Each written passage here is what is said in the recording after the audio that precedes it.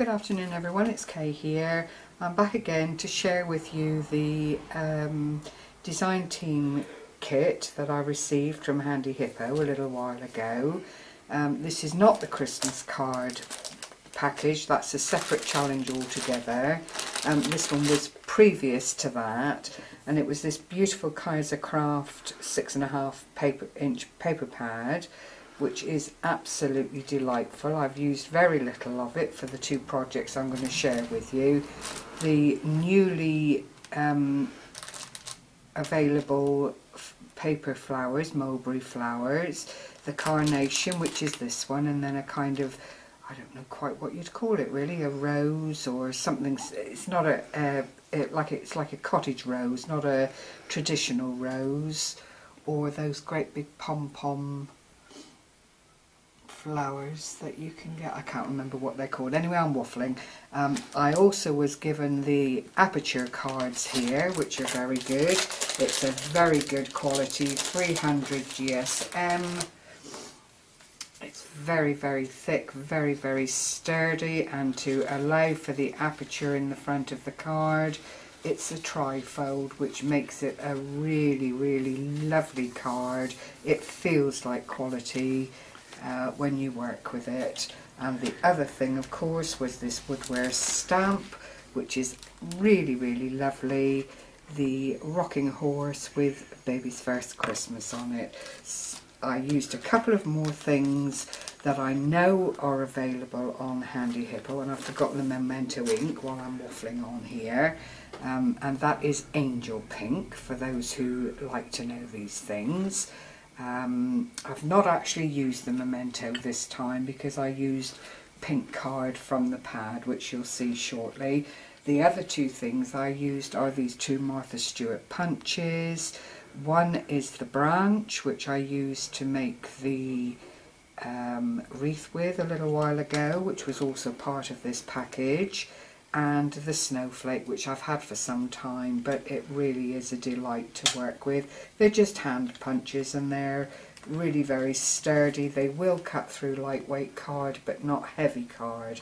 Okay so having said all of that the two cards that I've made out of all of these ingredients and there are only two for the moment I shall come back again with more at a later date but I was anxious to get something done um, because of having received the kit. So the first one I did was this one and it is the foiled card from the Kaisercraft pad which is called Silver Bells and you'll see it's foiled, it's snowdrops, snowdrops, snowflakes.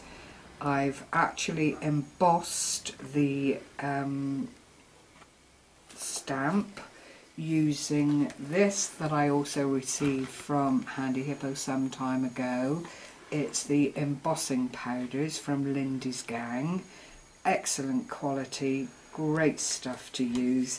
So I water stamped and then applied the silver. It's a very light moonlight silver. Then fussy cut out the shape of the horse you can see all the detail when you see it in real life. I'm not sure whether the camera will pick it up.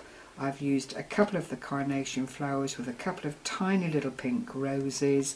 The branch punch, as you can see here in the corner, and the snowflakes. And I just put a little bit of bling in the centre of the, of the snowflakes to just keep it all in keeping with the silver of the foil. I cut out the label having embossed Baby's First Christmas and then put it all together around the aperture so there is a dimension to it. I've used extra pads under the horse's head. I'm hoping that the camera will pick up the different height there.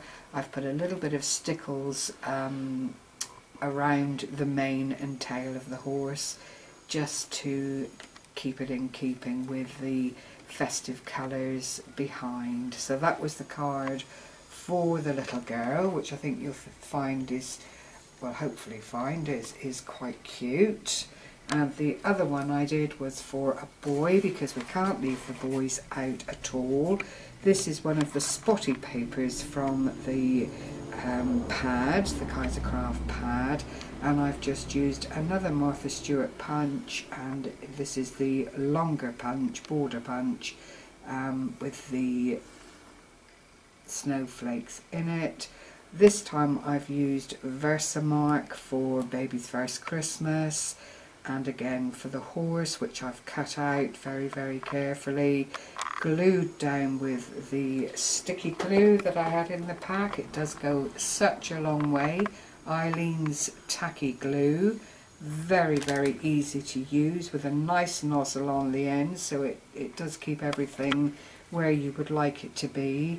I've used foam pads behind the horse put these flowers on from my own stash and use the branch punch again just to add a little bit of interest and colour to the Christmas feel of the card. So I hope you found them interesting and something that you might like to try yourself. Thank you so much for sharing this time with me happy shopping, happy crafting. Do go over to Handy Hippo's site and just check out all the wonderful goodies. Thanks and bye bye for now. Take care.